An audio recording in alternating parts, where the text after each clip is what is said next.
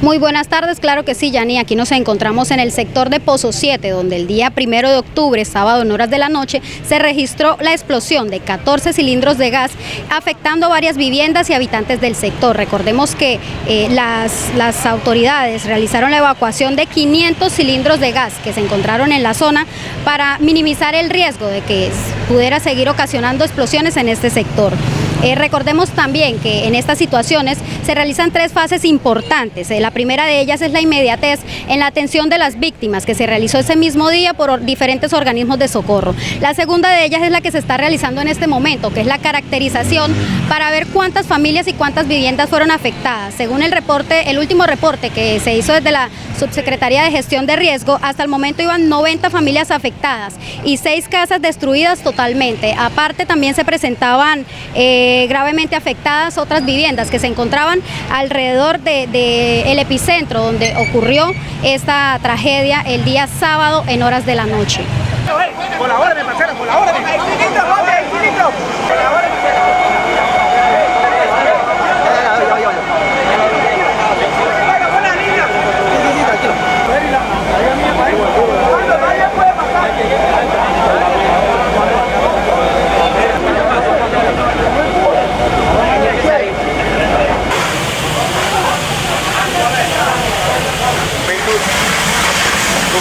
cómo sale el gas, vean, ahí están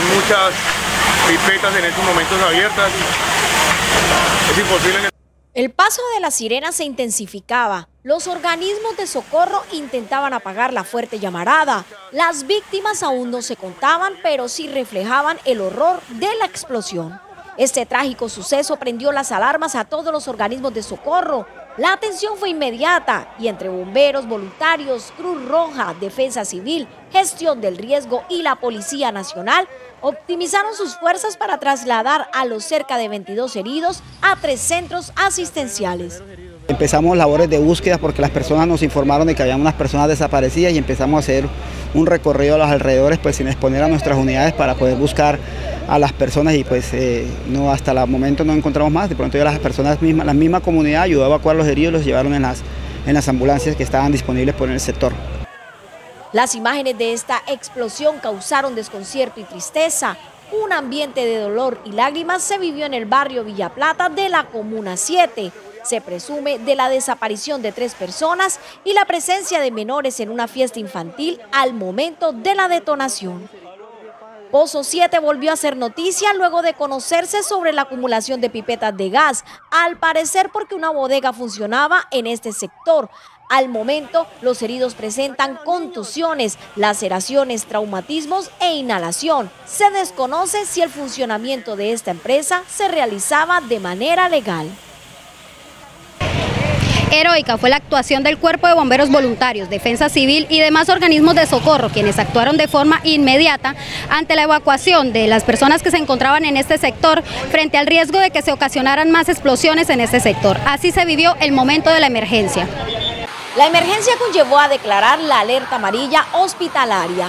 En la clínica Magdalena ingresaron tres menores de edad, dos de ellos con pronóstico reservado. Las otras dos personas son adultos con heridas leves a moderadas y se encuentran estables.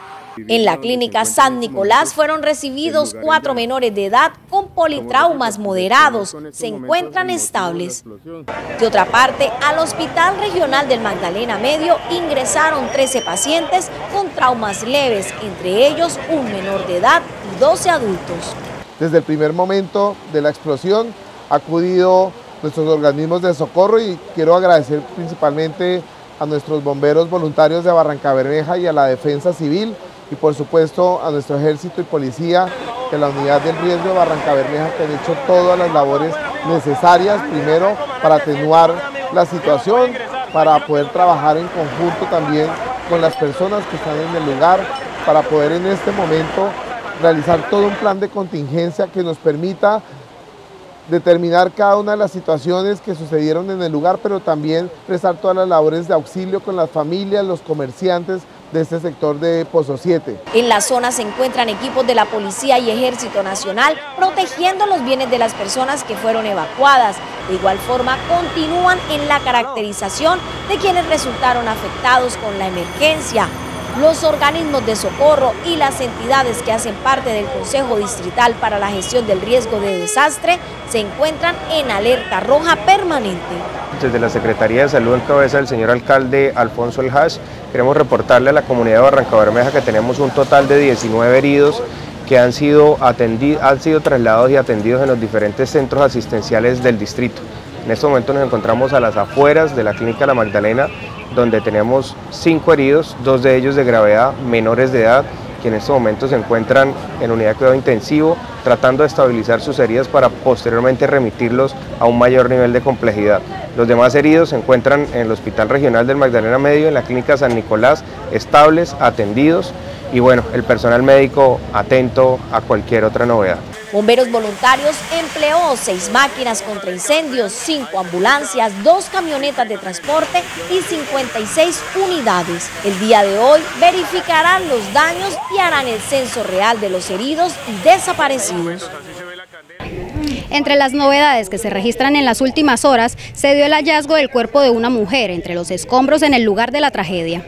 Ayer a las 6 de la tarde, eh, los organismos de socorro eh, lograron detectar un cuerpo femenino.